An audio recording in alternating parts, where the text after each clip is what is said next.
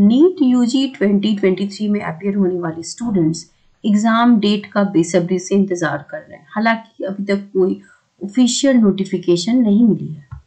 जैसा कि आप सभी बच्चे जानते हैं कि नीट एग्ज़ाम जो है वो NTA कंडक्ट करवाता है नेशनल टेस्टिंग एजेंसी और नीट आपका है National Eligibility cum Entrance Test तो अभी तक आपकी कोई डेट रिलीज़ नहीं हुई है। बच्चे बहुत बेसब्री से इंतज़ार कर रहे हैं।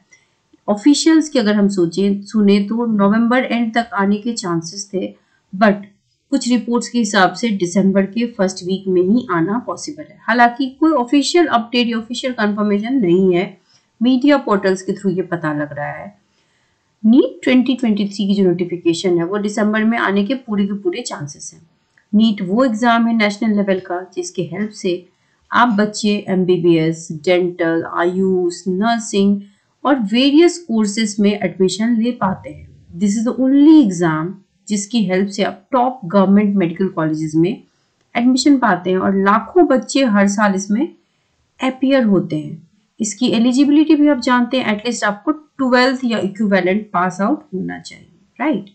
और उसकी स्ट्रीम भी रिक्वायरमेंट आपको पता है कि PCB is the required subject आपको बायोलॉजी होना चाहिए फिजिक्स एंड केमिस्ट्री तो बच्चों, अभी तक ऐसी कोई ऑफिशियल खबर नहीं आई है। आप सब बेसब्री से इंतज़ार कर रहे हैं। जब भी आएगा, आपको चैनल के माध्यम से दे दिया जाएगा। So do subscribe the channel for updates